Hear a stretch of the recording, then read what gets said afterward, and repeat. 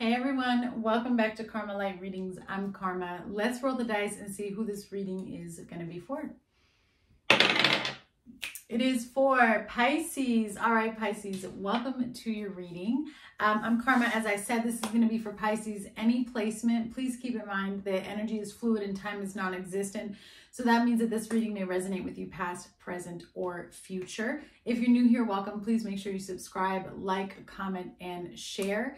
You guys, today is December 26, 2022, but this reading is timeless. Um, just a few of you were asking me if I could please let you know uh, what day I'm doing the reading. So December 26, 2022, this is going to be going into 2023, but again, it's timeless.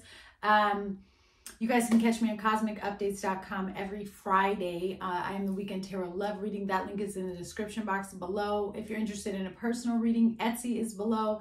And also, if you guys are interested, uh, there's a GoFundMe link below. My mother has uh, stage four colon cancer, and I'm currently the sole and only financial provider for her, myself, and my three children. I pay for all of her medical expenses that uh, insurance isn't covering um, we've had to join households to try to reduce costs, but um, any help is appreciated. If you can't donate, please don't worry. I would rather your prayers, okay? I need all the prayer warriors as well for my mother. So Pisces, let's go ahead and get into my blessing and my prayer as I shuffle your cards and let's see what the Holy Spirit has for you.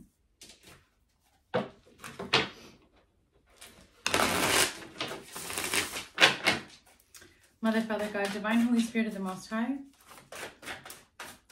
thank you for allowing me to be a clear channel of receiving messages for Pisces.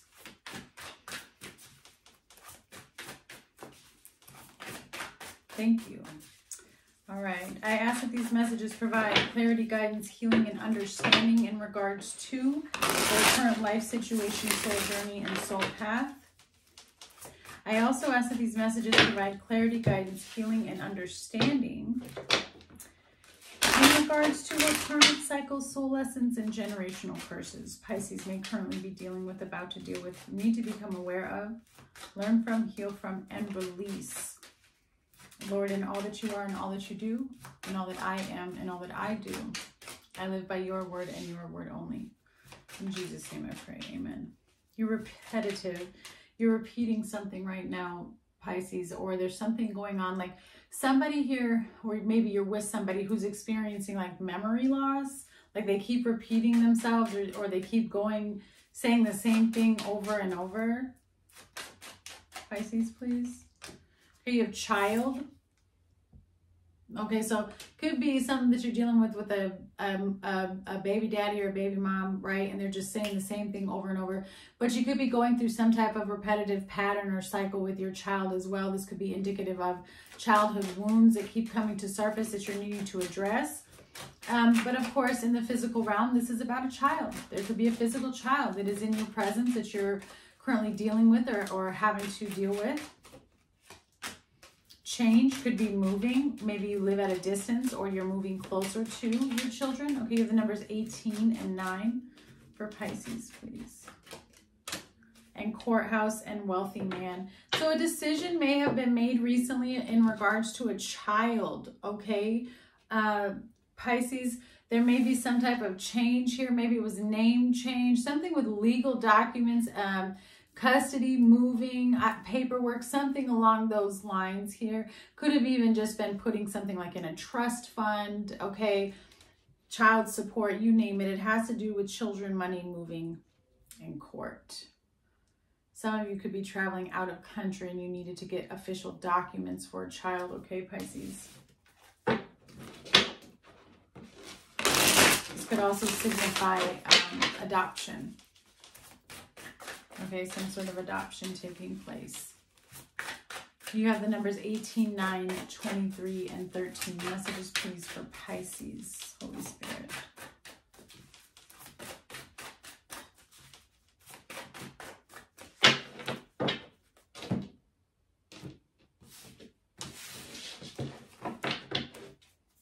I have to shuffle again, Pisces. I don't know what's going on, but they're telling me to shuffle again.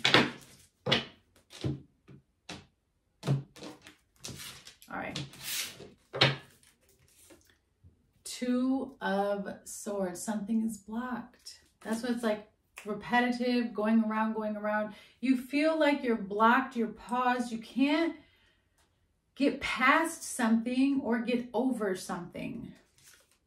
Yeah, Queen of Swords. Outside energy is the Eight of Wands. Your challenge is the Three of Swords. Your outcome is the Magician. Bottom of the deck, you have the King of Cups. There you are, Pisces. With the Five of Swords and the Tower. With the King of Pentacles.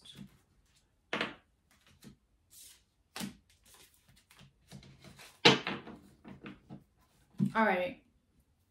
There is currently a disconnect from emotions, okay? Or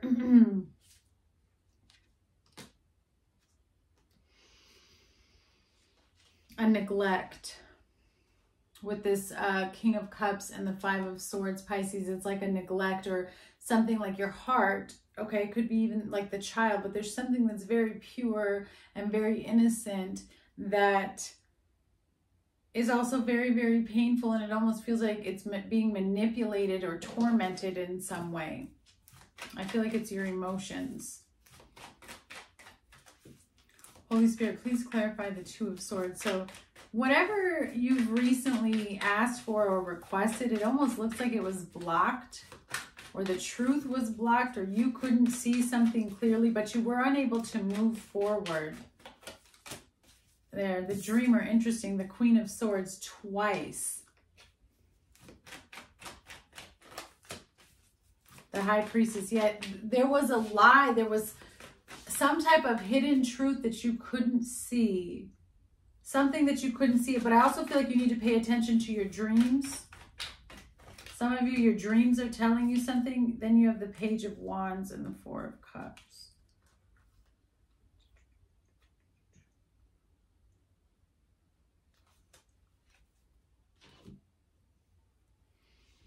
You couldn't see something clearly because of the pain that you were in. And so some of you may have been receiving visions because you have the page of wands, the swan, the dreamer, and the two of voices. But see, this is a page. It's not fully grown. Some of you may have been receiving dreams and visions and you were unable to interpret them properly, Pisces, because you were still interpreting them from a place of pain, because you hadn't allowed the light of God to come in and shine on you in that area for you to take accountability or heal or release or repent something. And that's why you were blocked. And that's not just you. So I don't want you to sit here and be like, what?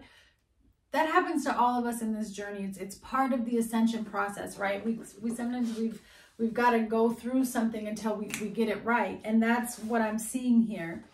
So you may have not been able to understand why something wasn't working out for you because I see you spending a lot of time with the Four of Cups and the Phoenix, which is the Hierophant.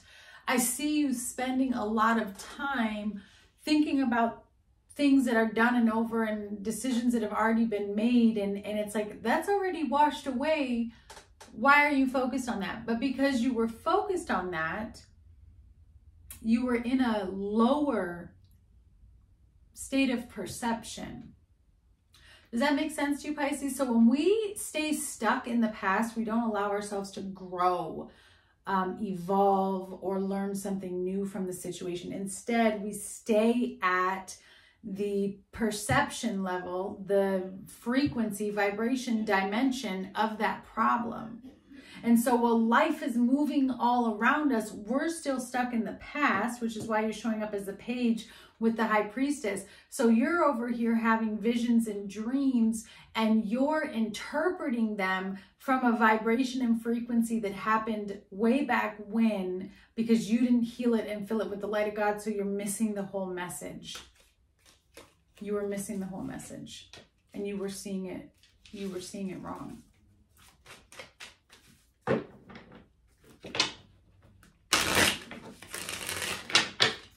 All right, your energy is showing up as the Queen of Swords. Very closed off emotionally. I, I this Queen of Swords, I just feel like right now you're not in the mood.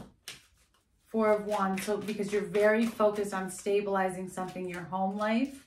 Two of Pentacles, okay? Has to do with this change up there. Clarify, please. Ten of Swords. Knight of Wands, the chair. Yeah, you could be moving somewhere, okay? You could be trying to make your move towards somewhere or travel towards somewhere. Um, you right now with the Queen of Swords, because you've received this, um, well, now you've had a breakthrough. You've recognized why you had a block and why you couldn't see forward. So now you're focused on experiencing uh, that breakthrough. But I see you going back and forth about bringing into alignment or bringing, I don't know if it's bringing someone to live with you because you have the Four of Wands. You don't know what to do because it's something that's over. Ten of Swords.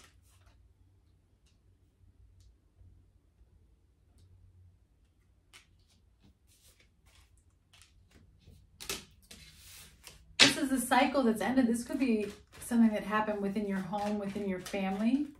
That's why you have child and change. You may have had to move. You may have had to leave. You may have had to go in a separate direction. And whatever it was, you're cold to it or from it. But yet you still go back and forth on if you want to go back or not. And I really feel like Spirit is telling you to let it go. Outside energy is the Eight of Wands. Uh, you're moving. You're being led to go somewhere, to move somewhere. This could have to do with children. You could be moving away from your children, and maybe that's causing an issue or bringing up trauma and wounds from, you know, childhood for you or something that, that your children are still dealing with here. Clarify, please, the Eight of Wands.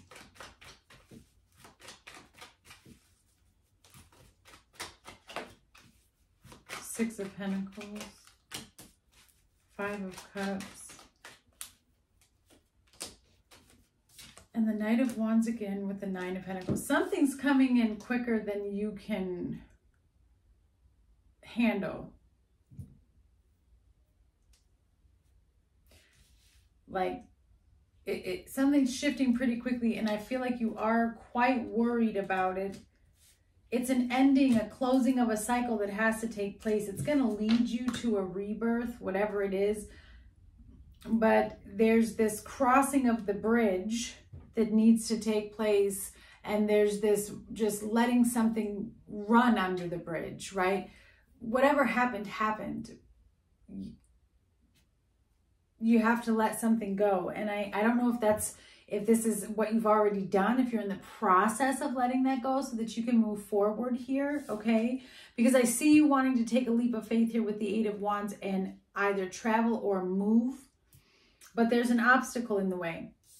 And whatever that obstacle is, Pisces, it's going to change you when you come out of it. That's why you have the shapeshifter and the Nine of Pentacles very independent energy, very much on your own, two feet sturdy on the ground, building yourself from the ground up. You take the initiative, you go through pain to make a change. It's been challenging though. Your challenge is the Three of Swords. There's a deep heartbreak inside of you that I don't think you tell anyone about, that you're still dealing with.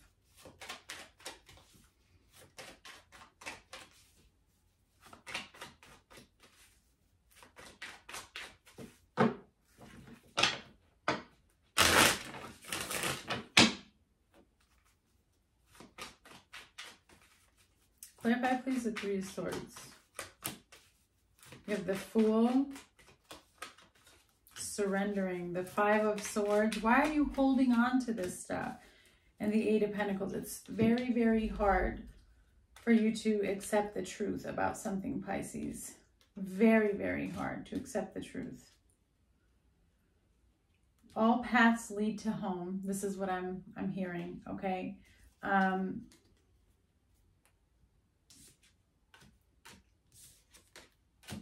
And I, whatever it is that is hurting your heart this much, number one, I'm so sorry that you're going through this. I know how painful heartbreak is, but I can share with you as another human and a soul who's gone through this process as a testimony that there, there is light at the end of the tunnel.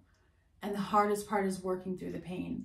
Um, and I feel like you struggle sometimes with surrendering and letting go of what could have or should have been or what happened. I do feel like there was a lot of effort and time that was put into a situation that you tried to work on something, but it was to no avail. There was a loss here, a very big loss between two people, almost like a loss of a child. Like this was a big loss. Here we have child change courthouse. And then for the challenge, you have the three of swords and then the five of swords. But this five of swords shows two eagles fighting because an egg is falling from the nest. So they're losing a baby. They're losing something of value, an investment if you don't have children. But for some of you, this may be a custody battle that just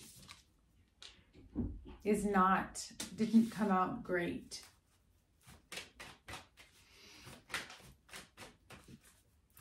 There is a purpose for whatever you are going through, and you're going to come out stronger and better than ever. I would ask and pray to God every day to lead you through the situation and to give you a deeper understanding. The outcome of the situation for you, Pisces, is the magician. You're going to manifest and create the life that you want. It is going to work out. Um, with the magician here, I just see you more stepping into your power and being able to utilize whatever you've learned from this process that's been painful or confusing, whatever this loss is. I can see you taking all of those tools and utilizing it for your higher good so that you can bring down what your dreams are and bring it down here, right, to the physical realm. Holy Spirit, please clarify the magician. Okay, you have the death card. So it is a transformation. It is the ending of one thing and the beginning of the next. You have the composer, king. I believe that's the king of cups. No, sorry, page of cups. Wow. And then you have soulmates, the lovers, and the magician again. Once you release this past pain, you're going to align yourself with the love, but you have to fully close out the past. It's like I said, you can't keep bringing this with you. That's an older vibration, an older frequency. There's something that's trying to be composed into your life. A soulmate is being written into your life, and you're choosing to miss out on it because you're holding on to the past. That's a lot of energy children energy, love energy. So in a nutshell, if I can make this for a whole collective, I would say, you know, if you have a physical child, that will resonate for you that way. But for all of you, child or no child, your inner child is needing to be healed because it's still connecting to something from your past that is preventing you from being able to align with a same match, of same frequency, vibrational match, a soulmate. Ask God to shine a light on it for you, Pisces, in your heart. I'm sending you much love.